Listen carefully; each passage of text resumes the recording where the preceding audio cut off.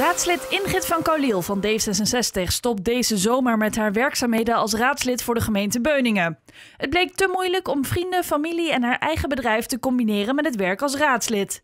Het grote dilemma tussen privé, zakelijk en mijn raadslidmaatschap. En dat heeft me de afgelopen maanden al behoorlijk wat partes gespeeld. Uh, ja, je wil het allemaal heel graag heel goed doen. En, um, maar het blijkt dus in de praktijk dat dan geen van drieën echt goed gebeurt. En uh, ik moet keuzes maken.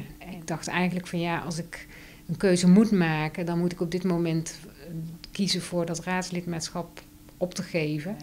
Dan kan ik dan maar beter aan het begin van de raadsperiode doen, zodat mijn opvolger uh, fris al uh, aan de start nog kan beginnen. De timing uh, is niet opvallend.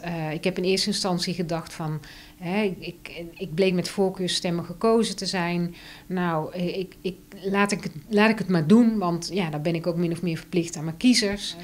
Maar um, ja, voortschrijdend inzicht is dat je, um, als je je werk niet goed kunt doen, dan hebben die kiezers daar ook niets aan. En dan kun je maar beter gelijk het achterste van je tong laten zien.